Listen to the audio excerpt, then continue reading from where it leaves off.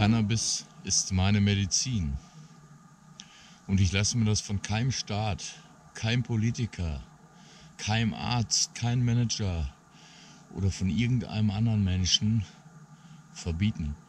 Denn mir hilft diese Medizin sehr gut und ich brauche deshalb keine anderen pharmazeutischen Produkte einzunehmen mit irgendwelchen Nebenwirkungen. So sieht's aus. Und ich hoffe, das ist auch euer Standpunkt. Wenn ihr ein freier Mensch seid und euch nicht bestimmen lassen wollt von irgendeinem System, der mit euch Geld machen will, weil ihr ein Produkt seid. Lasst euch das nicht gefallen, steht auf, lebt eure Freiheit. Legalize.